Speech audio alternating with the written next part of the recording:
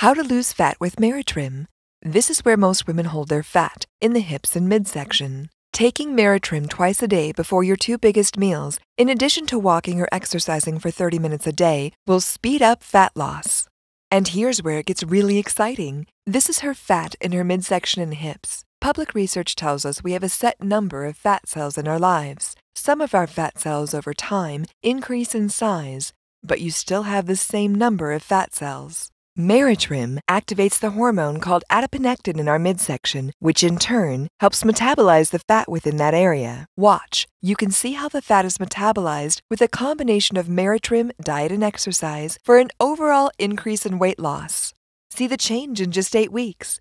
Meratrim is an all natural fruit and flower extract, and it is stimulant free. Lose weight with diet, exercise, and Meratrim. Get Meratrim today.